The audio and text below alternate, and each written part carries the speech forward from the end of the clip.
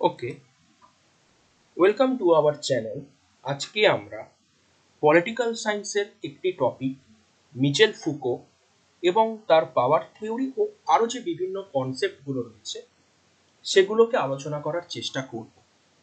এর আগে আমরা রবার্ট ডাল ও তার যে বিভিন্ন গুরুত্বপূর্ণ কনসেপ্টগুলো ছিল, সেগুলোকে ডিসকাশন করেছি। এবং আমরা বর্তমানে পলিটিক্যাল সায়েন্সের সেই সমস্ত টপিকগুলোকে নিয়ে ডিসকাশন করছি। যে টপিকগুলির উপরে সোশ্যাল মিডিয়া প্ল্যাটফর্মে খুব একটি বেশি আলোচনা করা হয়নি।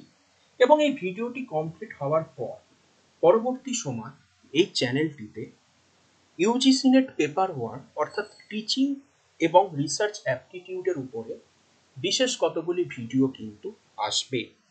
এবং আজকের যে আলোচনাটি হবে, এই আলোচনার পিডিএফ ফাইলটি আপনারা ডাউনলোড করে নিতে পারেন। এক্ষেত্রে ডিসক্রিপশন বক্সে দেওয়া লিংক আপনারা ব্যবহার করবেন। মূল আলোচনায় যাওয়ার আগে বলি যে, আমাদের এর আগের যে ইউজিসি নেট সেটের অনলাইন ব্যাচ বা অনলাইন কোর্স ছিল পেপার ওয়ান ও পলিটিক্যাল সায়েন্সের উপরে, সেই ব্যাচ থেকে যে সমস্ত ক্যান্ডিডেট নেট কোয়ালিফাইড করেছে, তাদেরকে আমরা আন্তরিক শুভেচ্ছা এবং অভিনন্দন জানিয়ে আজকের যে মূল আলোচনা, সেই মূল আলোচনা আমরা শুরু করব। আজকের আলোচনার টপিক হলো মিচেল ফুকো এবং মিচেল ফুকোর যে ওভারঅল যে বিভিন্ন চিন্তাভাবনাগুলো রয়েছে। আমরা যদি দেখার চেষ্টা করি মিচেল ফুকো, তার যদি লাইফ বা তার যদি একটা সংক্ষিপ্ত বায়ো বা জীবনী দেখার চেষ্টা করি, তাহলে আমরা দেখতে পাই যে পল মিচেল ফুকো তিনি ফ্রান্সে জন্মগ্রহণ করেছিলেন নাইনটিন টোয়েন্টি সিক্সের fifteen October. Foucault, sociology, philosophy, pol science হিস্ট্রির আলোচনায় একজন খুব ইম্পর্টেন্ট ব্যক্তিত্ব। অর্থাৎ সোশ্যাল সায়েন্সের আলোচনাতে কিন্তু তার একটা গুরুত্বপূর্ণ ইম্প্যাক্ট কিন্তু রয়েছে।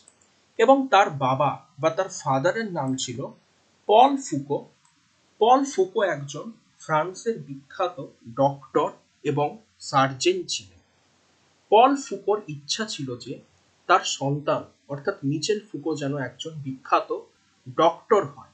কিন্তু মিচেল ফুকোর ইন্টারেস্ট ছিল basically philosophy psychology human behaviour analyse করার উপর। তাই তিনি ইউনিভার্সিটি অফ প্যারিস থেকে, তাই জন্য তিনি কি করলেন? ইউনিভার্সিটি অফ প্যারিস থেকে ফিলোসফি এবং সাইকোলজির উপরে কিন্তু ডিগ্রি অর্জন করলেন এবং পরবর্তী সময় তিনি বিভিন্ন গুরুত্বপূর্ণ টপিক বা থিম নিয়ে কিন্তু কাজ করেছেন। এবং তার যদি সামগ্রিক জীবনে আমরা দেখি, কতগুলো গুরুত্বপূর্ণ আমরা পয়েন্ট পাই যে, তিনি কিন্তু জেলখানা বা প্রিজনে যে সমস্ত বন্দি বা প্রিজনার থাকে, তাদেরকে নিয়ে কিন্তু কাজ করেছেন। তাদের কীভাবে জীবনযাত্রার উন্নয়ন ঘটানো যায়, সেই সম্পর্কেও আলোচনা করেছেন। এবং নাইনটিন সেভেন্টি সেভেন্টি ওয়ানের দিকে ফুকো আরও কতগুলো ব্যক্তিদের সাহায্যে প্রিজনস ইনফরমেশন গ্রুপ কিন্তু এস্টাবলিশড করেছিলেন এছাড়াও তিনি ট্রিটমেন্ট অফ গে কমিউনিটি নিয়ে নাইনটিন সেভেন্টিজে আলোচনা করেছিলেন because he was himself homosexual এবং তিনি ফ্রান্স প্যারিসে কিন্তু মারা যান কমপ্লিকেশন অফ এইচ এবং মারা যাওয়ার পরে তার পার্টনার ড্যানিয়েল ডেফার্ট কিন্তু মূলত ফুকোর মেমোরি বা তার স্মৃতিচারণার জন্য একটা চ্যারিটি কিন্তু প্রতিষ্ঠা করেছিলেন। মিচেল ফুকোর পার্টনার ড্যানিয়েল ডেফার্টও কিন্তু একজন বিখ্যাত ফ্রেঞ্চ সোসিওলজিস্ট থিঙ্কার্স কিন্তু ছিলেন। আমরা জাস্ট মিচেল ফুকো সম্পর্কে একটু সংক্ষিপ্ত বিবরণ কিন্তু দেখার চেষ্টা করলাম। পরবর্তী পয়েন্টে আমরা দেখার চেষ্টা করব মিচেল ফুকোর কিছু গুরুত্বপূর্ণ মেজর ওয়ার্ক তার লেখা গুরুত্বপূর্ণ গ্রন্থগুলির মধ্যে অন্যতম হল ম্যাডনেস অ্যান্ড সিভিলাইজেশন যেটা নাইনটিন সিক্সটি ওয়ানে পাবলিশড হয়। এছাড়াও তিনি the birth of the clinic the others of things the archaeology of knowledge discipline and punish the history of sexuality এরকম গুরুত্বপূর্ণ কিন্তু কিছু গ্রন্থ রচনা করেছেন। এবং তার যদি গ্রন্থের আমরা থিমগুলোকে আলোচনা করি, তাহলে আমরা দেখতে পাই যে তার আলোচনায় সোসাইটি বা সমাজের কিছু গুরুত্বপূর্ণ ইস্যু এবং তার সাথে সাথে যে হিউম্যান সাইকোলজি বা মানুষের মনস্তত্ত্ব, এই দুটোর মধ্যে কিন্তু একটা অভূতপূর্ব সংমিশ্রণ বা মেলবন্ধন ঘটেছে। অর্থাৎ তার আলোচনাতে ফিলোসফি সাইকোলজির মধ্যে একটা কম্বিনেশন কিন্তু লক্ষ্য করা যায়। যেমন তার দ্য হিস্ট্রি অফ সেক্সুয়ালিটি যেটা নাইনটিন সেভেন্টি সিক্সে পাবলিশড হয়েছিল, এই গ্রন্থে তিনি পাওয়ারের যে বিভিন্ন গুরুত্বপূর্ণ ডাইমেনশনগুলো রয়েছে বা পাওয়ার নলেজ থিওরি বা পাওয়ারের মধ্যে যে একটা আমরা দেখতে পাই যে বায়ো পাওয়ারের ক্ষমতা রয়েছে, এই পাওয়ার রিলেটেড কিন্তু বিভিন্ন বিষয়কে তিনি ইন্ট্রোডিউস করলেন। তেমনি আমরা একটু আগে দেখলাম যে ফুকো প্রিজনারদেরকে নিয়ে কাজ করেছেন, বন্দি বা কয়েদিদের সম্পর্কে আলোচনা করেছেন এবং এই ব্যাপারে আমরা ডিসিপ্লিন অ্যান্ড পানিশ নামক গ্রন্থটা কিন্তু পড়তে পারি। এই ডিসিপ্লিন অ্যান্ড পানিশ থেকে আমরা বিভিন্ন বিষয় কিন্তু জানতে পারি। এবং এই বইগুলোর নাম তোমরা ক্রোনোলজিক্যাল অর্ডারে কিন্তু অবশ্যই মেমোরাইজড করে রাখতে পারো। নেক্সট আমরা যে পয়েন্ট দেখছি, মিচেল ফুকোর আলোচনায় পয়েন্টটার নাম হচ্ছে জিনিওলজি মূলত ফুকোর যে আলোচনা, ফুকোর আলোচনাতে এই জিনিওলজি কথাটার আমরা উল্লেখ পাই বা ফুকোর আলোচনার যে মেথড বা পদ্ধতি, পদ্ধতিটাকে আমরা জিনিওলজি মেথডোলজি বলে কিন্তু চিহ্নিত করতে পারি। এবং ফুকো এই যে জিনিওলজি মেথড এই মেথডটা কিন্তু গ্রহণ করেছেন ফ্রেডরিক নিটসের কাছ থেকে। কারণ নিটসের আলোচনাতেও আমরা এরকম জেনিওলজি বা হিস্টোরিক্যাল মেথডের কিন্তু উল্লেখ পাই এবং নিটসের দ্বারা কিন্তু মিচেল ফুকো ইনফ্লুয়েন্সড হয়েছিলেন। তাহলে এখন আমরা বোঝার চেষ্টা করব হোয়াট ইজ জিনিওলজি বা এই মেথডটা কি জিনিস? এটার যদি আমরা উত্তর সংক্ষেপে দেখার চেষ্টা করি, তাহলে উত্তরটা হচ্ছে যে genealogy is the study of family origin and history অর্থাৎ জিনিওলজি বলতে কি বোঝায়? একটা পরিবার, সে পরিবারের হিস্ট্রি বা ইতিহাসটা কি? সে পরিবারে আর কে কে অতীতে ছিল? অর্থাৎ একটা লিস্ট অফ অ্যানসেস্টার্স, অর্থাৎ তার পূর্বপুরুষ কে কে ছিল? অর্থাৎ আমি, আমার বাবাকে, তার বাবা, তার ঠাকুরদা। অর্থাৎ একটা পরিবারের যে বংশ তালিকা তৈরি করা হয়, অতীতে কে কে ছিলেন, এই জিনিসটাকে আমরা জিনিওলজি বলে কিন্তু চিহ্নিত করতে পারি। অর্থাৎ জিনিওলজিতে বেসিক্যালি কি করা হয়? পাস্ট ইভেন্টের উপরে গুরুত্ব দেওয়া হয়। অতীতের ঘটনার উপরে গুরুত্ব দেওয়া হয়। অর্থাৎ অনেকটা হিস্টোরিক্যাল পার্সপেক্টিভকে কিন্তু এখানে গুরুত্ব দেওয়া হচ্ছে। অর্থাৎ জিনিওলজি মেথডের মাধ্যমে আমরা অতীতকে জানতে পারি। অর্থাৎ আমরা যে টোয়েন্টি ফার্স্ট সেঞ্চুরিতে রয়েছি, এর আগে আমাদের সোসাইটিটা কেমন ছিল? আমাদের সিভিলাইজেশনটা কেমন ছিল? সে ইতিহাসকে জানতে পূর্বের কোনো ঘটনাকে যদি আমরা বোঝার চেষ্টা করি, তাহলে আমরা জিনিওলজি মেথড কিন্তু ব্যবহার করতে পারি এবং মিচেল ফুকো তার আলোচনাতে কিন্তু এই মেথডটা ইউজ করেছেন এবং তিনি বলেছেন যে আমাদেরকে কি করতে হবে? হিস্ট্রিতে যেতে হবে। অর্থাৎ অতীতে কি ঘটেছে সে বিষয়গুলো আমাদেরকে ব্যাকে গিয়ে দেখতে হবে এবং আমরা দেখার চেষ্টা করব যে আমরা বেসিক্যালি লিটারেচার বা সাহিত্যে অতি ইতিহাস বা অতীত সম্পর্কে যে বক্তব্যগুলো পড়ি, সেই বক্তব্য বা প্রপোজিশন ছাড়াও কি সামথিং ডিফারেন্ট কিছু আছে? সেটা আমাদের জানার জন্য জিনিওলজি মেথডটা কিন্তু ব্যবহার করা দরকার।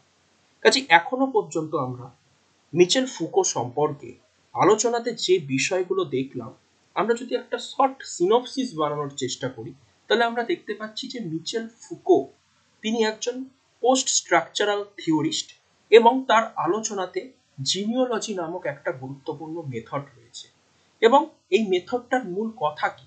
এই মেথডটার মূল কথা হচ্ছে, আমরা আমাদের হিস্ট্রি বা পাস্ট ইভেন্টকে জানার চেষ্টা করব। অর্থাৎ আমরা যখন ব্যাক ইনটু দ্য হিস্ট্রি অর্থাৎ অতীত কেমন ছিল, সেটাকে যদি গিয়ে অ্যানালাইজ করি, তাহলে দেখব আমাদের অতীতে কিন্তু সাম ডিফারেন্ট থিংস রয়েছে। অর্থাৎ কিছু এমন অজানা তথ্য রয়েছে যেগুলো আমরা জানি না। এই অজানা তথ্যগুলোকে খুঁজে বের করার জন্য আমাদের পাস্ট ইভেন্ট বা ইতিহাসে ফিরে যাওয়া দরকার। এই কথাটা মূলত জিনিওলজির মাধ্যমে মিচেল ফুকো বলেছেন। এবং এই জিনিওলজি মেথডটা কিন্তু মিচেল ফুকো নিটসের কাছ থেকে ইনফ্লুয়েন্স হয়ে কিন্তু গ্রহণ করেছিলেন। অর্থাৎ এক কথায় আমরা মনে রাখতে পারি জিনিওলজি মানে হচ্ছে এক ধরনের হিস্টোরিক্যাল অ্যাপ্রোচ অর্থাৎ কোনো বিষয় বা ঘটনার পাস্ট বা অতীত কেমন ছিল, সেটাকে আমরা খুঁজে বের করার জন্য এই মেথডটা কিন্তু আলোচনা করতে পারি। এছাড়া নেক্সট পয়েন্টে আমরা দেখতে পাচ্ছি যে মিচেল ফুকোকে কিন্তু টোয়েন্টি ফার্স্ট সেঞ্চুরিতে একজন আমরা পোস্ট স্ট্রাকচারালিস্ট থিওরি বা পোস্ট মডার্ন থিওরিস্ট বলে কিন্তু চিহ্নিত করে থাকি। কারণ পোস্ট মডার্ন থিওরিস্ট এই কারণেই তাকে বলা হয়, কারণ তিনি কিন্তু ওয়েস্টার্ন যে থট বা তিনি কিন্তু যে এনলাইটেনমেন্ট সেটাকে কিন্তু ক্রিটিসাইজ বা সমালোচনা করেছিলেন। এখন আমরা সংক্ষেপে পোস্ট মডার্নিজম জিনিসটা কি একটু যদি দেখার চেষ্টা করি, কারণ আমাদের এই চ্যানেলটিতে পোস্ট মডার্নিজম সম্পর্কে বিস্তারিত কিন্তু একটি ভিডিও আগে থেকেই অ্যাভেলেবেল রয়েছে। আমরা দেখি বেসিক্যালি পোস্ট কথাটার মানে হচ্ছে কোনো ঘটনা ঘটে যাওয়ার পরে, অর্থাৎ মডার্নিজমের পরবর্তী সময় পলিটিক্যাল সায়েন্স বা আমাদের সোসাইটিতে যে থিওরিটি জনপ্রিয় হয়েছিল, তাকে আমরা পোস্ট মডার্ন থিওরি বলে চিহ্নিত করে থাকি। এবং মূলত নাইনটিন সিক্সটিজের পরবর্তী সময় থেকে এই পোস্ট মডার্ন থিওরিটি কিন্তু আমাদের সোসাইটিতে যথেষ্ট জনপ্রিয়তা অর্জন করে। যে পোস্ট মডার্ন থিওরিতে মডার্নিজম বা আধুনিকতাকে কিন্তু সমালোচনা করা হয়েছিল। এবং কেন আধুনিকতাকে সমালোচনা করা হয়েছিল? কারণ এই মডার্নিজমের কনসেপ্টটা এসছিল এনলাইটেনমেন্টের হাত ধরে। এবং এই এনলাইটেনমেন্টের হাত ধরে মডার্নিজমের কনসেপ্ট আসায় আমাদের সোসাইটিতে সায়েন্স, টেকনোলজি, বিজ্ঞান ও প্রযুক্তির কিন্তু একটা ডেভেলপমেন্ট হয়েছিল। এবং সোশ্যাল সায়েন্সে কিছু গুরুত্বপূর্ণ থিওরির উদ্ভব হয় এবং প্রত্যেকটা থিওরি কিন্তু একটা অবজেক্টিভ স্টাডি করত। এবং থিওরিগুলো ডিমান্ড করতো যে এগুলোর একটা ইউনিভার্সাল ট্রুথ রয়েছে। অর্থাৎ স্থান, কাল, পাত্র নির্বিশেষে প্রত্যেকটা তত্ত্ব বা থিওরি পৃথিবীর যে কোনো জায়গায় কিন্তু অ্যাপ্লাই করা সম্ভব। কিন্তু পোস্ট মডার্নিজম নাইনটিন সিক্সটিজের পরবর্তী সময় আমাদের সোসাইটির যে স্ট্রাকচার সেটাকে অ্যানালাইজ করে বলার চেষ্টা করল যে আমাদের সোসাইটি কিন্তু ফ্র্যাগমেন্টেড ডিভাইডেড অর্থাৎ আমাদের সোসাইটিতে কোনো ইউনিভার্সাল ট্রুথ কিন্তু থাকতে পারে না। অর্থাৎ আমাদের সোসাইটিতে অনেক ধরনের ট্রুথ বা অনেক ধরনের বিলিফ বা বিশ্বাস থাকে। তাই জন্য কোনো থিওরি কিন্তু ইউনিভার্সাল ট্রুথ হতে পারে না, কারণ আমাদের সোসাইটিতে প্রচুর ধরনের বিলিফ বা বিশ্বাস বা বিভিন্ন ধরনের আইডিওলজি কিন্তু রয়েছে। এইভাবে পোস্ট মডার্ন থিঙ্কার্সরা অবজেক্টিভ স্টাডি মডার্নিটি এনলাইটেনমেন্ট বা সায়েন্স টেকনোলজির যে একটা বিশাল বড় পরিবর্তন, সেটাকে কিন্তু সমালোচনা করল এবং এই পোস্ট মডার্নিজমের আলোচনাতে একজন গুরুত্বপূর্ণ থিঙ্কার্সের নামই হলো মিচেল ফুকো। এবং মিচেল ফুকো কিন্তু নাইনটিন সিক্সটিজের পরবর্তী সময় আমাদের সোসাইটির যে স্ট্রাকচার সেটাকে নিয়ে আলোচনা করেছেন এবং তিনিও কিন্তু এই যে এনলাইটেনমেন্ট সেটাকে সমালোচনা করেছেন এবং তিনিও বলেছেন আমাদের সোসাইটিতে কখনোই ইউনিভার্সাল ট্রুথ কিন্তু প্রতিষ্ঠা করা সম্ভব নয়। তাই জন্য আমরা দেখি ফুকোর আলোচনাতে কিন্তু একটা পোস্ট স্ট্রাকচারিস্টের উল্লেখ বা মেনশন কিন্তু পাওয়া যায়। এই জায়গাটাকেও আমরা সংক্ষেপে বলতে পারি যে সাপোজ মডার্নিজমের যুগে আমাদের সোসাইটিতে বিভিন্ন থিওরি এমার্সড হয়েছিল। যেমন আমরা উদাহরণ দিতে পারি লিবারালিজম এর লিবারালিজম ডিমান্ড করতো কি না এটা একটা ইউনিভার্সাল ট্রুথ অর্থাৎ পৃথিবীর যে কোনো দেশেই কিন্তু এটাকে অ্যাপ্লাই করা যেতে পারে। বাট পোস্ট মডার্ন থিঙ্কার্সরা কি বলবে? তারা বলবে যে না লিবারালিজম সোশ্যালিজম মার্কসিজম কোনো থিওরি ইউনিভার্সাল ট্রুথ হতে পারে না। কারণ একটা সোসাইটিতে প্রত্যেকটা মানুষ বা প্রত্যেকটা দেশই যে সেম আইডিওলজি ফলো করবে তা নয়। তার মানে কি হয়ে যাচ্ছে? একটা সোসাইটিতে কিন্তু কখনোই ইউনিভার্সালিটি অ্যাপ্লিকেবল করা যায় না। এরপরে আমরা ফুকোর আলোচনাতে যে জায়গাটা দেখার চেষ্টা করব, সেটাই হচ্ছে ফুকোর আলোচনার সব থেকে ইম্পর্টেন্ট জায়গা এবং পরীক্ষাতে বেসিক্যালি এই জায়গাটা থেকে কিন্তু বিভিন্ন ধরনের কোশ্চেন আসে। ফুকোস ভিউ অন পাওয়ার ক্ষমতা সম্পর্কে ফুকোর ওপিনিয়ন কি? প্রথম লাইনে লেখা আছে যে he rejected traditional view on power অর্থাৎ পাওয়ার সম্পর্কে যে ট্র্যাডিশনাল ভিউ পয়েন্ট রয়েছে, অর্থাৎ পাওয়ার সম্পর্কে প্রথম দিকে থিঙ্কার্সরা যে বিভিন্ন ধরনের ওপিনিয়ন দিতেন, সেই ওপিনিয়নটাকে কিন্তু ফুকো রিজেক্ট করেছেন অর্থাৎ এইটিন এবং নাইনটিন সেঞ্চুরিতে পাওয়ার বলতে আমরা কি বুঝতাম? পাওয়ার হচ্ছে এক ধরনের ক্যাপাসিটি বা এক ধরনের অ্যাবিলিটি এক ধরনের সামর্থ্য। যে সামর্থ্যের মাধ্যমে কি হয়? কাউকে আমরা ইনফ্লুয়েন্স করি, কাউকে প্রভাবিত করার চেষ্টা করি, দিয়ে কোনো কাজ কিন্তু আমরা করিয়ে নেওয়ার চেষ্টা করি। এটাকে পাওয়ার বলা হতো। অর্থাৎ পাওয়ার বলতে আমরা বেসিক্যালি কি বোঝার চেষ্টা করতাম? যখন এ বি কে দিয়ে বি এর ইচ্ছার বিরুদ্ধে কোনো কাজ করিয়ে নেয়, এই যে কাজ করিয়ে নেওয়ার যে একটা বিশেষ এবিলিটি এর মধ্যে রয়েছে, সেটাকে আমরা পাওয়ার বলতাম। অর্থাৎ ট্র্যাডিশনাল ভিউ পয়েন্টে কিন্তু পাওয়ারকে এক ধরনের ক্যাপাসিটি বা পাওয়ারকে এক ধরনের অ্যাবিলিটি বলে চিহ্নিত করা হতো। এবং পাওয়ারের সাথে একটা ফোর্স বা বল প্রয়োগের ধারণা থাকে এই কথাটা কিন্তু ট্র্যাডিশনাল ভিউ পয়েন্টে কিন্তু উল্লেখ করা হতো। অর্থাৎ ট্র্যাডিশনাল ভিউ পয়েন্টে মনে করা হতো পাওয়ার হচ্ছে সেন্ট্রালাইজড ইন নেচার এবং পাওয়ার ইজ রিপ্রেসিভ অর্থাৎ পাওয়ারের সাথে একটা বল প্রয়োগ বা একটা শোষণের ধারণা নিহিত থাকে এবং পাওয়ার কিন্তু সেন্ট্রালাইজড অর্থাৎ পাওয়ার কিন্তু সবার হাতে থাকে না। পাওয়ার হয়তো সমাজে কিছু ব্যক্তি বা সমাজের গভর্নমেন্টের হাতে কিন্তু একমাত্র থাকে। ট্র্যাডিশনাল ভিউ পয়েন্টে পাওয়ারকে এইভাবে ডিফাইন করা হতো, বিশেষ করে এইটিন এবং নাইনটিন সেঞ্চুরিতে কিন্তু মিচেল ফুকো টোয়েন্টি সেঞ্চুরিতে এ ট্র্যাডিশনাল ভিউ পয়েন্টটাকে কিন্তু রিজেক্ট করেছেন। এই ট্র্যাডিশনাল ভিউ পয়েন্টকে আমরা কনভেনশনাল ভিউ পয়েন্ট বলেও কিন্তু চিহ্নিত করতে পারি। এবং মিচেল ফুকো তার আলোচনাতে বলছেন যে, এই যে ট্র্যাডিশনাল বা এই যে কনভেনশনাল ভিউ পয়েন্ট অফ পাওয়ারটা রয়েছে পাওয়ারের এই মডেল বা এই পাওয়ারটা কিন্তু বেসিক্যালি তিন ধরনের মডেলের উপরে বেস করে তৈরি।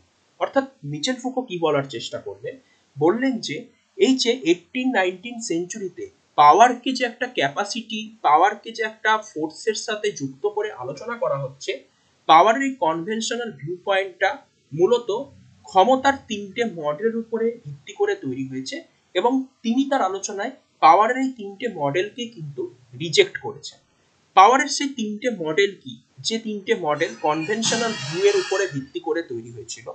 নাম্বার ওয়ান হচ্ছে সোভারেন মডেল সোভারেন মডেলে মনে করা হতো যে পাওয়ার বা ক্ষমতা কেবলমাত্র কোনো সোভারেন অথরিটি অর্থাৎ কোনো ইনস্টিটিউশন বা কোনো গ্রুপসের হাতেই থাকে। এবং এই সোভারেন অথরিটি কি করে? কিছু মানুষের উপরে পাওয়ার বা বল প্রয়োগ করে এবং পাওয়ার বা বল প্রয়োগের মাধ্যমে মানুষদেরকে পরিচালিত করে। অর্থাৎ রুলার ও রুলটের যে রিলেশন শাসক ও শাসিতের সম্পর্ক, অর্থাৎ অতীতে আমরা দেখতাম কি, মূলত রাজা কি করত, তার যারা বিভিন্ন সাবজেক্ট বা প্রজা রয়েছে, তাদেরকে অর্ডার দিত এবং প্রজারা সেই অর্ডার বা নির্দেশটা মান্য করে চলত। এই যে অতীতে আমরা যে এইরকম ব্যবস্থা দেখতাম, সেটাকে সোভারেন মডেল অফ পাওয়ার বলতে পারি। ফুকো বলছেন, বর্তমানে এরকম রুরাল রুল বেসড পাওয়ারের যে অস্তিত্ব, খুব একটা কিন্তু লক্ষ্য করা যায় না। এছাড়া সেকেন্ড আরেকটা মডেল হয় কনভেনশনাল মডেল যেটাকে আমরা দ্য কমোডিটি মডেল বলতে পারি। কমোডিটি কথাটার মানে কি? কমোডিটি কথাটার মানে হচ্ছে পণ্য বা কোনো ধরনের দ্রব্য। এই মডেলটাতে মনে করা হতো যে পাওয়ারকে একটা কমোডিটির সাথে তুলনা করা হতো। একটা কোনো দ্রব্য বা কোনো বস্তুর সাথে তুলনা করে বলা হতো যে পাওয়ারকে কিন্তু ট্রান্সফার করা যায়। অর্থাৎ কোনো একটা রাজা বা কোনো একটা ব্যক্তি, আমি সাপোজ তার নাম দিলাম এ তার হাতে প্রচুর পাওয়ার রয়েছে, সে কি করল? পাওয়ারটাকে অ্যাজ এ কমোডিটি বা বস্তু হিসাবে বি নামক আরেকটা ব্যক্তির কাছে ডেলিভার করে দিল ট্রান্সফার করে দিল। অর্থাৎ এক্ষেত্রে কি হলো? বিও কিন্তু পাওয়ারফুল হয়ে গেল। এই যে কমোডিটি মডেল অফ পাওয়ার এটাকেও কিন্তু ফুকো তার আলোচনাতে রিজেক্ট করেছেন। ফুকো বলছেন যে পাওয়ার কিন্তু কখনোই এরকম ভাবে ট্রান্সফার করা যেতে পারে না। এবং ট্র্যাডিশনাল বা কনভেনশনাল মডেলে আলোচনায় পাওয়ারের আরেকটি গুরুত্বপূর্ণ মডেল হলো দ্য রিপ্রেসিভ মডেল এবং এই আলোচনাটা করতে গিয়ে ফুকো বলছেন যে পাওয়ার যে সবসময় রিপ্রেসিভ ইন নেচার হবে, অর্থাৎ পাওয়ারের মধ্যে যে সবসময় একটা শোষণমূলক ধারণা ফোর্সের ধারণা থাকবে তা কিন্তু নয়, বরং পাওয়ার আমাদের সমাজে কিন্তু কিছু বিশেষ জিনিসের উৎপাদন করে, অর্থাৎ পাওয়ার হচ্ছে প্রোডাক্টিভ ইন নেচার পাওয়ার আমাদের সমাজে বিভিন্ন ধরনের আইডিওলজি বিভিন্ন ধরনের ডিসকোর্স বা ডিসকাশন কিন্তু তৈরি করতেও সাহায্য করে থাকে। এইভাবে কি করলেন? মিচেল ফুকো ট্র্যাডিশনাল মডেলটাকে রিজেক্ট করলেন এবং ট্র্যাডিশনাল যে পাওয়ারের ভিউ পয়েন্ট সম্পর্কে, তার মতে যে সমাজে বিভিন্ন প্রচলিত মডেল ছিল, সেই মডেলগুলোকেও কিন্তু তার আলোচনায় তিনি বিস্তারিত আলোচনার মাধ্যমে তুলে ধরলেন যে এগুলো কিন্তু বর্তমান সময় কিন্তু খুব একটা বেশি যে কার্যকরী তা কিন্তু নয়। তাহলে পাওয়ার সম্পর্কে এখনও পর্যন্ত আমরা যে বিষয়টা দেখলাম সেখানে যদি আমরা সংক্ষেপে মনে রাখার চেষ্টা করি, তাহলে আমরা কি বলতে পারি? এক কথায়, ফুকো পাওয়ারের ট্র্যাডিশনাল পয়েন্ট অর্থাৎ ট্র্যাডিশনাল ভিউ পয়েন্টে কি বলা হতো? পাওয়ার এক ধরনের ক্যাপাসিটি পাওয়ারের সাথে এক ধরনের বল প্রয়োগ বা ফোর্স থাকে এবং পাওয়ার সেন্ট্রালাইজড কিছু মানুষের হাতেই থাকে। এই কনসেপ্টগুলোকে কিন্তু ফুকো রিজেক্ট করলেন। ফুকো বললেন যে টোয়েন্টিথ সেঞ্চুরিতে পাওয়ারের এই ট্র্যাডিশনাল বা কনভেনশনাল ভিউটা কিন্তু খুব একটা বেশি এফেক্টিভ নয়। এবং ফুকো বলছেন যে, এই যে কনভেনশনাল ভিউ যেখানে পাওয়ারকে একটা ফোর্স ক্যাপাসিটির সাথে রিলেট করে দেখা হয়, এই কনভেনশনাল ভিউ অফ পাওয়ারটা কিন্তু পাওয়ারের তিনটে মডেলের উপরে বেস করে তৈরি। পাওয়ারের সেই তিনটে গুরুত্বপূর্ণ মডেল কি? The sovereignty model the commodity model এবং দ্য রিপ্রেসিভ মডেল এবং ফুকো এই তিনটে মডেলকে রিজেক্ট করলেন। অর্থাৎ বললেন যে দ্য সোভারিনিটি মডেল বর্তমান সময় খুব একটা দেখা যায় না। অর্থাৎ রাজা প্রজার সম্পর্ক খুব একটা দেখা যায় না এবং পাওয়ারকে আমরা কখনোই একটা কমোডিটি বা বস্তু হিসাবে কিন্তু ট্রিট করতে পারি না এবং পাওয়ার সমাজের প্রত্যেকটা জায়গায় রয়েছে। পাওয়ার কখনোই সেন্ট্রালাইজড নয়। পাওয়ার যে শুধুমাত্র সোভারেন অথরিটির হাতেই থাকবে, তা কিন্তু একদম নয় এবং পাওয়ার যে সবসময় রিপ্রেসিভ ইন নেচার হবে তা নয়। পাওয়ারের মধ্যে একটা প্রোডাক্টিভ ক্ষমতা রয়েছে। পাওয়ার সমাজে আমাদের সোসাইটিতে অনেক কিছু উৎপাদন করে, প্রোডাকশন করে। এইভাবে তিনি কনভেনশনাল ভিউ পয়েন্টের তিনটি মডেলকে কিন্তু তার আলোচনায় রিজেক্ট করার চেষ্টা করলেন। এর পরিপ্রেক্ষিতে আমরা বলতে পারি যে ফুকো পাওয়ারের তিনটে গুরুত্বপূর্ণ ক্যারেক্টারিস্টিক বা ক্ষমতার তিনটে গুরুত্বপূর্ণ চরিত্র বা বৈশিষ্ট্য আমাদের সামনে কি করলেন? রিপ্রেজেন্ট করলেন। নাম্বার ওয়ান কি? Power is productive. ফুকোর মতে পাওয়ারের মধ্যে কিছু প্রোডাক্টিভ নেচার বা সমাজে কিছু উৎপাদন করার ক্ষমতা রয়েছে। কারণ পাওয়ার থেকেই সমাজে বিভিন্ন বিলিফ আইডিওলজি ডিসকোর্স ডিসকাশনের কিন্তু উদ্ভব হয়। সেকেন্ড বৈশিষ্ট্য কি? It is only exercised by individual but never possessed by them Foucault বলছেন যে, পাওয়ারকে কখনোই একটা কমোডিটি বা বস্তু হিসাবে ট্রিট করা উচিত নয়। পাওয়ারকে ইন্ডিভিজুয়ালি কি করে? পরিচালিত করে। পাওয়ার কিন্তু ব্যক্তি বা মানুষের দ্বারাই পরিচালিত হয়। কিন্তু কখনোই মানুষ সেই পাওয়ারটাকে অর্জন করতে পারে না। অর্থাৎ এটার মানে কি? আজকে হয়তো যার হাতে ক্ষমতা রয়েছে, অর্থাৎ তার দ্বারা পাওয়ার পরিচালিত হচ্ছে, কিন্তু তার হাতে যে আজীবন ক্ষমতা থাকবে, সে যে পাওয়ারটাকে প্রসেসড বা অর্জন করে রেখেছে তা নয়। হয়তো আজকে যে পাওয়ারলেস ব্যক্তি, সে ভবিষ্যতে পাওয়ারফুল হতে পারে, আবার পাওয়ারফুল ব্যক্তিও কিন্তু পাওয়ারলেস হতে পারে। অর্থাৎ পাওয়ারকে কখনো মানুষ কিন্তু অর্জন করতে পারে না, বরং মানুষ এই পাওয়ারটাকে কখনো হোল্ড করতে পারে। হোল্ড করে মানুষ কি করে? পাওয়ারটাকে পরিচালনা করতে পারে। এবং তিন নম্বর ক্যারেক্টারিস্টিক আমরা কি বলতে পারি? Power is involved in every social relation এটা খুব ইম্পর্টেন্ট মূলত ফুকো বলছে পাওয়ার কখনোই সেন্ট্রালাইজড বা কেন্দ্রীভূত হতে পারে না। ক্ষমতা সমাজের প্রত্যেকটা জায়গায় রয়েছে। সোশ্যাল রিলেশন সমাজের প্রত্যেকটা সম্পর্কেই কিন্তু পাওয়ার থাকে। সমাজের প্রত্যেকটা মাইক্রো লেভেল আমরা যদি পরিবারেও যাই, একটা পরিবারের মধ্যে যে বয়সে বড়, তার কিন্তু ডোমিনেন্স বা তার কিন্তু আধিপত্যটা বেশি থাকে। আমরা যদি কোনো ইনস্টিটিউশনে যাই ইনস্টিটিউশনেও দেখব যে কিছু ভেরি ফিউ পার্সন বা কিছু স্পেসিফিক মানুষের কিন্তু আধিপত্য বেশি রয়েছে, তাদেরকে কিন্তু বেশি ইম্পর্টেন্স দেওয়া রয়েছে। অর্থাৎ মিচেল ফুকো বোঝানোর চেষ্টা করছেন যে পাওয়ার শুধুমাত্র যে সরকারের হাতে থাকে বা কিছু সোভারেন অথরিটির হাতে থাকে তা নয়, সমাজের প্রত্যেকটা জায়গাতেই থাকে। তাহলে ফুকো এখান থেকে কি বললেন? ফুকো এখান থেকে বেসিক্যালি বলার চেষ্টা করলেন যে ক্ষমতার তিনটে গুরুত্বপূর্ণ বৈশিষ্ট্য হলো পাওয়ারের একটা প্রোডাক্টিভ নেচার রয়েছে। পাওয়ার কিন্তু মানুষের দ্বারাই পরিচালিত হয়, কিন্তু মানুষ যে এটাকে সারা জীবনের জন্য হোল্ড করে রাখে তা নয় এবং সমাজের প্রত্যেকটা রিলেশনে পাওয়ার কিন্তু সমাজের প্রত্যেকটা জায়গায় লক্ষ্য করা যায়। পাওয়ার কিন্তু কখনোই সেন্ট্রালাইজড নয়, বরং পাওয়ার কিন্তু সমাজের বিভিন্ন জায়গায় ডিভাইড হয়েছে। এবং তারপরের যদি আমরা নেক্সট পয়েন্ট দেখার চেষ্টা করি three types of power by Foucault Foucault পাওয়ারের তিনটে টাইপস বা প্রকারের কথা বলেছে। এখানে এই বিষয়গুলো মনে রাখা দরকার যে আমরা প্রথমে যে পয়েন্ট করলাম সেখানে আমরা দেখলাম যে ফুকো পাওয়ারের কনভেনশনাল যে মডেল হয়, সেটাকে তিনটে ভাগে বিভক্ত করেছিলেন। বা কনভেনশনাল ভিউয়ের ভিত্তিতে তিন ধরনের মডেলের কথা বলেছে তারপরে আমরা পাওয়ারের তিনটে বৈশিষ্ট্য দেখলাম। এবারে যেটা দেখছি ফুকো মূলত তিন ধরনের পাওয়ার বা থ্রি টাইপস অফ পাওয়ারের কথা বলেছেন। এবং তিনি বলেছেন, এই তিন ধরনের পাওয়ার কিন্তু সমাজে ইন্টার রিলেটেড অর্থাৎ কোনো একটা সোসাইটি বা কোনো একটা সমাজে যে শুধুমাত্র পার্টিকুলার একটা পাওয়ারই দেখা যাবে অর্থাৎ কোনো সোসাইটিতে শুধুমাত্র যে সোভারেন পাওয়ারই থাকবে তা নয়, একটা সোসাইটিতে sovereign power disciplinary power bio power তিনটেই কিন্তু একসাথে থাকতে পারে। অর্থাৎ এগুলো কিন্তু একে অপরের সাথে একটা কানেক্টেড গভীর সম্পর্কে কিন্তু আবদ্ধ। অর্থাৎ ফুকোর মতে তিন ধরনের পাওয়ার নাম্বার ওয়ান হচ্ছে সোভারেন পাওয়ার সোভারেন পাওয়ার বলতে আমরা কি বলতে পারি? আমাদের সোসাইটিতে কি থাকে? একটা সরকার থাকে এবং সরকারকে কিছু মানুষ পরিচালনা করে। আমরা কি করি? গভর্নমেন্টের অর্ডার কিন্তু মান্য করি। অর্থাৎ সোভারেন পাওয়ারের ভিউ পয়েন্টের সাথে অভিডেন্স অফ দ্য লয়ের ধারণা থাকে। অর্থাৎ আমরা কি করি? সমাজের যে সোভারেন অথরিটি বা ইনস্টিটিউশন বা গভর্নমেন্ট রয়েছে বা কনস্টিটিউশন রয়েছে, তার যে অর্ডার সেটাকে আমরা পালন করি। এবং আমরা পালন না করলে আমাদেরকে কিন্তু পানিশমেন্ট দেওয়া হয়। অর্থাৎ সোভারেন ভিউ পয়েন্ট অফ পাওয়ারে আমরা দেখতে পাচ্ছি অবিডেন্সের ধারণা থাকছে এবং বিভিন্ন ধরনের পানিশমেন্ট ফোর্স এই ধারণাগুলো থাকছে। অর্থাৎ মিচেল ফুকো বলছেন সোভারেন যে পাওয়ারের ধারণাটি রয়েছে সমাজে, এটার সাথে বল প্রয়োগ ফোর্স কোয়েশন আর্মি পুলিশ এগুলো কিন্তু যুক্ত থাকে। অর্থাৎ একটা ভয় দেখিয়ে, একটা বল প্রয়োগের মাধ্যমে কি করা হয়?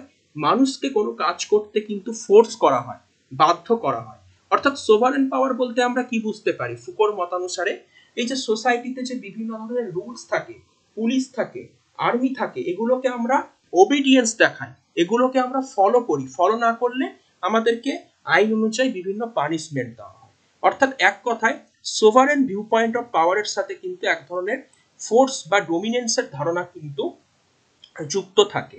ফুকোর মতে পাওয়ারের দ্বিতীয় যে ফর্ম বা রূপটি রয়েছে, সেটি হলো ডিসিপ্লিনারি পাওয়ার ডিসিপ্লিনারি পাওয়ারের এই ধারণাটা কিন্তু ফুকো মনে করেছেন, বর্তমান সমাজে কিন্তু বেশি লক্ষ্য করা যায়। কারণ এই ডিসিপ্লিনারি পাওয়ারের মাধ্যমে মানুষকে কি করা হয়? সমাজে ঐক্যবদ্ধ বা ইউনাইটেড করে রাখা হয়। যাতে সমাজে কোনো ধরনের ডিসঅর্ডার অ্যানার্কি বা বিশৃঙ্খলা বা নৈরাজ্য যাতে তৈরি নেওয়া হয়। এবং এই ডিস ডিসিপ্লিনারি পাওয়ারের সাথে কিন্তু ফোর্স কিন্তু কখনোই যুক্ত থাকে না। অর্থাৎ ডিসিপ্লিনারি পাওয়ারে যে মানুষকে ভয় দেখিয়ে বা মানুষকে বল প্রয়োগ করে কোনো কাজ করানো হচ্ছে, তা কিন্তু নয়।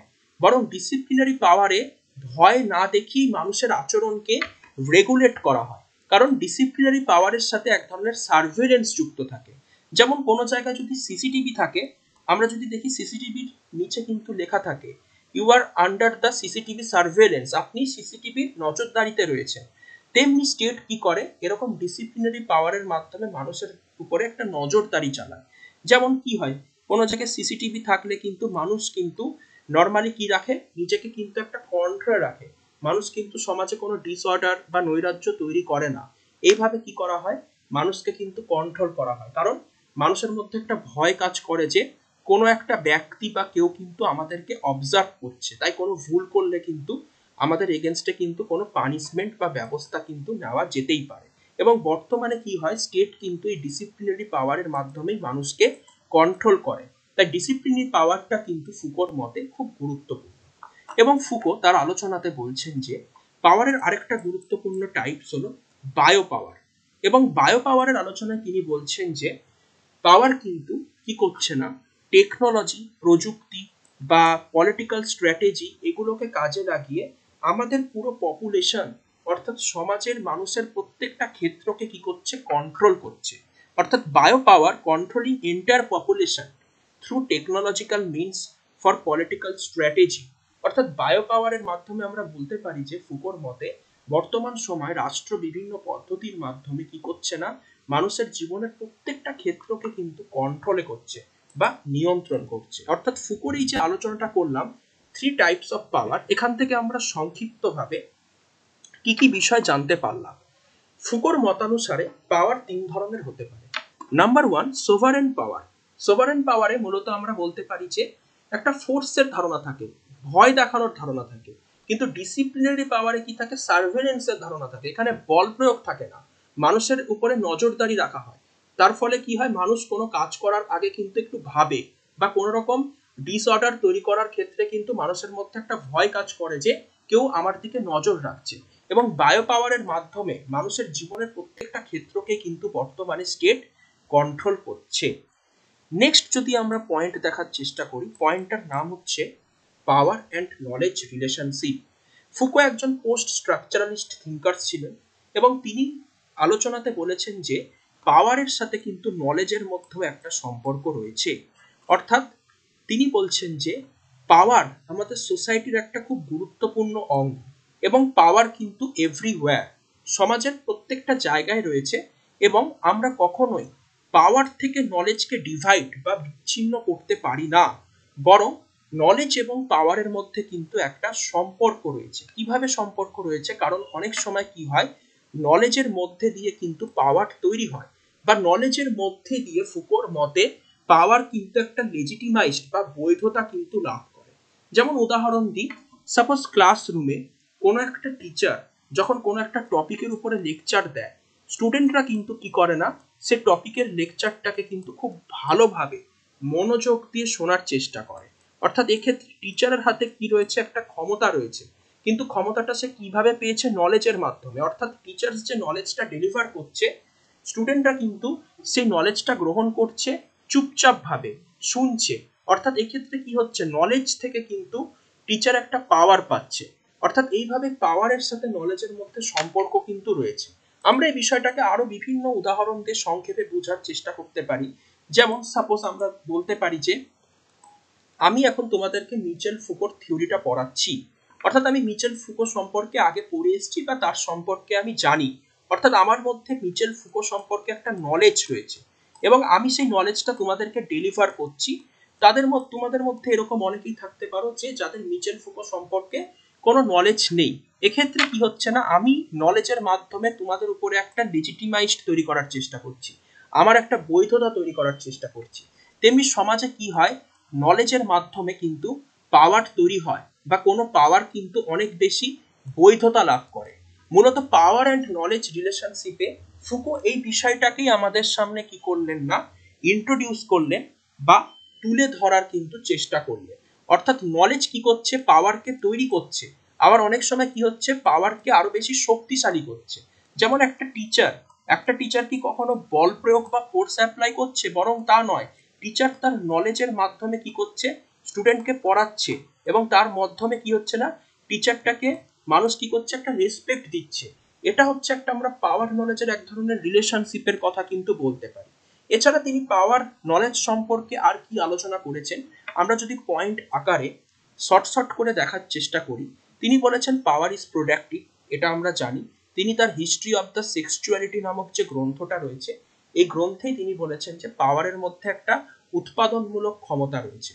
এবং তিনি কি বলেছেন? Power is everywhere power does not come from single source power সমাজের প্রত্যেকটা জায়গায় রয়েছে পাওয়ারের কোনো সিঙ্গেল সোর্স থাকে না। তারপরে তিনি বলেছেন power is capillary in nature capillary কথাটার মানে কি? The capacity of power to circulate throughout our society অর্থাৎ পাওয়ার কিন্তু কোনো একটা জায়গায় স্টপ থাকে না। পাওয়ারের মধ্যে একটা ক্যাপিলারি নেচার রয়েছে। অর্থাৎ পাওয়ারের মধ্যে একটা ডাইনামিক বা গতিশীলতার ধারণা রয়েছে। সোসাইটির প্রত্যেকটা জায়গায় পাওয়ার কি হয়? সার্কুলেট হয়। বা পাওয়ার কি হয়? চারিদিকে ছড়িয়ে পড়ে। এবং মিচেল ফুকো, এই কথাটা আমরা পরীক্ষাতে দেখেছি, মিচেল ফুকো পাওয়ারকে বায়ো পাওয়ার বলেছে। কারণ কি? তার মতে পাওয়ার বা ক্ষমতা কি করে? সমাজের প্রত্যেকটা ক্ষেত্র এবং আমাদের যে ব্যক্তিগত জীবন, জীবনটাকে কি করে? রেগুলেট করে। অর্থাৎ according to Michel Foucault power is bio power because it's regulate our life এটা আমাদের জীবনকে কন্ট্রোল করে এবং পাওয়ারের ফলে কি হয়? সমাজে বিভিন্ন ডিসকোর্সের জন্ম হয়। ইট প্রডিউস ডিসকোর্সেস ডিসকোর্স কথাটার মানে হচ্ছে ডিসকাশন সেট অফ বিলিফ অর্থাৎ আমাদের সমাজে যে বিভিন্ন আইডিওলজি মতাদর্শ চিন্তা ভাবনা এগুলোর যে উদ্ভব হয়, এগুলো হচ্ছে ডিসকোর্স এই ডিসকোর্সগুলো তৈরি করে পাওয়ার পাওয়ারের মধ্যে দিয়ে কি হয়? নলেজ লেজিটিমাইজড হয়। এবং তার যে সমগ্র আলোচনা পাওয়ার সম্পর্কে আলোচনা, এই আলোচনার ক্ষেত্রে তিনি আর্কিওলজি জেনিওলজি এই মেথডগুলো কিন্তু ব্যবহার করেছেন। যে জেনিওলজি মেথডটা আমরা একটু আগে দেখলাম যে হিস্ট্রিকে জানতে হবে, অতীতকে জানতে হবে। অর্থাৎ তিনি আর্কিওলজি জেনিওলজি মেথড কিন্তু আলোচনা করেছে। আমরা ফুকোর আলোচনার প্রায় লাস্টের দিকে চলে এসেছি। আমরা এবারে যেটা দেখব তার আলোচনাতে আরেকটা গুরুত্বপূর্ণ কনসেপ্ট আমরা পাই, যে কনসেপ্টটার নাম হচ্ছে প্যানোপটিসিজম এই প্যানোপটিসিজম কনসেপ্টটা মিচেল ফুকোর একার কনসেপ্ট নয় বেসিক্যালি জেরেমি বেনথামও কিন্তু এই প্যানোপটিসিজম সম্পর্কে আলোচনা করেছিলেন এবং মিচেল ফুকোর যে ডিসিপ্লিন অ্যান্ড পানিস নামক গ্রন্থটা রয়েছে এ ডিসিপ্লিন অ্যান্ড পানিস নামক গ্রন্থে কিন্তু আমরা প্যানোপটিসিজম সম্পর্কে জানতে পারি। প্যানোপটিকন কথাটার মানে কি? It is a place where you can see everything অর্থাৎ এমন একটা জায়গা, যে জায়গাটা থেকে আমি সমাজের আশেপাশের প্রত্যেকটা মানুষকে আমি পর্যবেক্ষণ করতে পারব। কিন্তু তারা কিন্তু দেখতে পাবে না যে আমি আদৌ পর্যবেক্ষণ করছি কি করছি না। অর্থাৎ প্যানোপটিকন মানে হচ্ছে এমন একটা জায়গা যেখান থেকে কেউ সমাজের কিছু মানুষকে অবজার্ভ করবে। কিন্তু সেই সাধারণ মানুষ বুঝতেই পারবে না যে আদৌ তাদেরকে কেউ পর্যবেক্ষণ করছে কি না। এবং আমরা যদি দেখি মিচেল ফুকোর আলোচনা, ডিসিপ্লিন অ্যান্ড পানিস গ্রন্থে, আমরা দেখতে পাই তিনি কিন্তু মূলত প্রিজনার বা যারা সমাজে বন্দি থাকে, এই সমাজের বন্দি মানুষদের উন্নয়নের জন্য ডেভেলপমেন্টের জন্য বিভিন্ন কাজ করেছেন। এবং তিনি বলেছেন যে প্যানোপটিকন মডেলটার মাধ্যমে যে একটা জেলখানা বা প্রিজনে কি হয়? মূলত মাঝখানে একটা ওয়াচ টাওয়ার ওয়াচ টাওয়ার থাকে এবং ওয়াচ টাওয়ারে কোনো অফিসার বা কোনো ওয়ার্কার্স থাকে। সেই ওয়াচ টাওয়ারের মাধ্যমে জেলখানার চারিদিকে যে বিভিন্ন ঘর রয়েছে, সেই ঘরগুলোর উপরে কিন্তু অবজার্ভ করে, পর্যবেক্ষণ করে। এবং এই ওয়াচ টাওয়ারটা যেহেতু মিডিলে অবস্থিত হয়, এই ওয়াচ টাওয়ারের সাহায্যে ওই ব্যক্তি কিন্তু দেখতে পায় বা নজরদারি চালাতে পারে, প্রত্যেকের উপরে সার্ভেলেন্স করতে পারে যে কে কি করছে। কিন্তু যারা কয়েদি হয়, তারা কিন্তু বুঝতে পারে না যে আদৌ এই ওয়াচ টাওয়ারে কেউ আছে কি নেই। এইভাবে কি হয় সার্ভেলেন্সের মাধ্যমে কিন্তু একটা ডিসিপ্লিনারি বা কয়েদির, কয়েদিদেরকে কিন্তু একটা কন্ট্রোলে রাখা হয়। প্যানোপটিকান মডেলের মাধ্যমে মূলত মিচেল ফুকো কিন্তু এই বিষয়টাকেই আমাদের সামনে রিপ্রেজেন্ট বা উপস্থাপনা করার কিন্তু চেষ্টা করবে। তাহলে মিচেল ফুকোর আলোচনাতে আমরা প্যানোপটিসিজম সম্পর্কে জানতে পারি। মূলত প্যানোপটিসিজম এই কনসেপ্টটা হচ্ছে জেলখানাতে যারা বিভিন্ন কয়েদি বা জেলখানাতে যারা বিভিন্ন বন্দি থাকে, তাদেরকে কীভাবে জেলখানাতে ডিসিপ্লিনারি ওয়েতে রাখা হয়, তাদেরকে কীভাবে কন্ট্রোল করা হয় বা তাদের জীবনযাত্রা সম্পর্কে আলোচিত একটি বিশেষ তত্ত্ব বিশেষ। জেরেমি বেনথাম এই প্যানোপটিকান সম্পর্কে আলোচনা করেছেন। আমরা যদি প্যানোপটিকান মডেলটা দেখি মডেলটা কি? It is a place where you can see everything অর্থাৎ এমন একটা জায়গা যেখান থেকে আমি সবাইকে অবজার্ভ করতে পারব। যেমন একটা জেলখানাতে কি থাকে, এরকম বিভিন্ন ওয়াচ টাওয়ার থাকে। এই ওয়াচ টাওয়ারের মাধ্যমে কোনো পুলিশ অফিসার কি করে? আশেপাশে চারিদিককে অবজার্ভ করতে পারে কোন কয়েদি বা কোন প্রিজনার কি করছে। এবং প্রিজনাররা কিন্তু বুঝতে পারে না যে এই ওয়াচ টাওয়ারে আদৌ কেউ আছে কি নাই। এইভাবে কি করা হয়? সার্ভেলেন্সের মাধ্যমে বা ডিসিপ্লিনারি পাওয়ারের মডেলের মাধ্যমে কি করা হয়? তাদেরকে কন্ট্রোল করা হয়। প্রিজনারদেরকে নিয়ন্ত্রণে রাখা হয়। এটাই আমরা সংক্ষেপে বলতে পারি।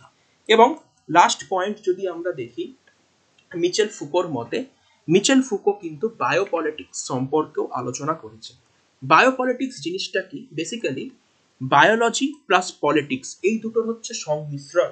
এবং তার আলোচনাতে আমরা প্রথমেই দেখেছিলাম তিনি সাইকোলজি বায়োলজি পলিটিক্স এগুলোর মধ্যে একটা তার ডিসকাশনে কিন্তু কম্বিনেশন তৈরি করেছেন। এবং তিনি বলছেন যে পলিটিক্সের মধ্যেও কিন্তু একটা বায়োলজির ধারণা থাকে। অর্থাৎ তিনি বলেছেন যে পলিটিক্স এবং বায়োলজি এই দুটো কিন্তু ইন্টার কানেক্টেড যেমন আমরা ইন্টারন্যাশনাল রিলেশনসে জিও পলিটিক্সের আলোচনা পাই, তেমনি মিচেল ফুকো বায়োপলিটিক্সের কথা বলেছেন। বায়োপলিটিক্সটা কি? অর্থাৎ এখানে বায়োলজি এবং পলিটিক্স দুটোর মধ্যে একটা মেলবন্ধন ঘটানো হয়েছে। যেমন কি হয়? আমাদের সোসাইটিতে কিন্তু বায়োলজির উপরে বেস করেও কিন্তু বিভিন্ন ধরনের পলিটিক্স তৈরি হয়। বা সমাজে কিন্তু পাওয়ারকে লেজিটিমাইজড করার চেষ্টা করা হয়। যেমন সমাজের যে টোটাল পপুলেশন বা যে ডেমোগ্রাফি সেটাকে আমরা কি করি? মেল ফিমেলে মূলত বিভক্ত করি। বা একটা সোসাইটিতে কতজন মেল রয়েছে, কতজন ফিমেল রয়েছে বা কতজন চিলড্রেন রয়েছে। এবং তার পরিপ্রেক্ষিতে আমরা কি করি? প্রত্যেকটা গ্রুপের জন্য বিভিন্ন বিভিন্ন পলিসি লঞ্চ করি। হয়তো ফিমেলদের জন্য পার্টিকুলার কিছু আমরা পলিসি লঞ্চ করলাম। যারা বিভিন্ন চাইল্ড বা শিশু রয়েছে, তাদের জন্য আমরা কিছু গুরুত্বপূর্ণ পলিসি কি করলাম? লঞ্চ করার কিন্তু চেষ্টা করলাম। এবং এর মাধ্যমে কি হয়? আমাদের সমাজে কিন্তু একটা পলিটিক্সের ক্ষেত্র বা একটা রাজনীতির ক্ষেত্র কিন্তু তৈরি হয় এবং এর মধ্যে দিয়েও কিন্তু সমাজে কি করা হয়? সমাজের কিছু মানুষকে কন্ট্রোল করা হয়। সমাজে কিছু মানুষের উপরে পাওয়ার অ্যাপ্লাই করা হয় বা পাওয়ারকে লেজিটিমাইজড করা হয়। অর্থাৎ সংক্ষেপে আমরা কি বলতে পারি? প্যানোপটিকন হচ্ছে একটা মডেল যে মডেলটার আমরা উদাহরণ একটি ছবির মাধ্যমে দেখলাম এবং তারপরে আমরা দেখলাম মিচেল ফুকোর মধ্যে পাওয়ার একটা প্যাস্টোরাল পাওয়ার অর্থাৎ তিনি বায়োপলিটিক্সের কথা বলেছেন।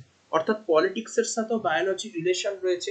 যেমন আমরা দেখি বায়োলজি ক্ষেত্রে কি হয় না, আমাদের সোসাইটিতে কীভাবে বায়োলজি পলিটিক্সের মধ্যে মেলবন্ধন ঘটানো হয়, জনসংখ্যাকে মেল ফিমেল চিলড্রেন এরকম বিভিন্ন ভাগে কি হয়, বিভক্তিকরণ করা হয়, জনসংখ্যা বা ডেমোগ্রাফিকে দিয়ে হয়তো ফিমেলদের জন্য পার্টিকুলার কিছু পলিসি আনা হলো চিলড্রেনদের জন্য কিছু পার্টিকুলার পলিসি আনা হলো, তার ভিত্তিতে একটা পলিটিক্সের ক্ষেত্র তৈরি করা বা তার ভিত্তিতে সমাজে একটা পাওয়ারের নতুন ধারণা তৈরি করা, এই বিষয়গুলোকে কিন্তু আমরা বায়োপলিটিক্সের মধ্যে রাখতে পারি।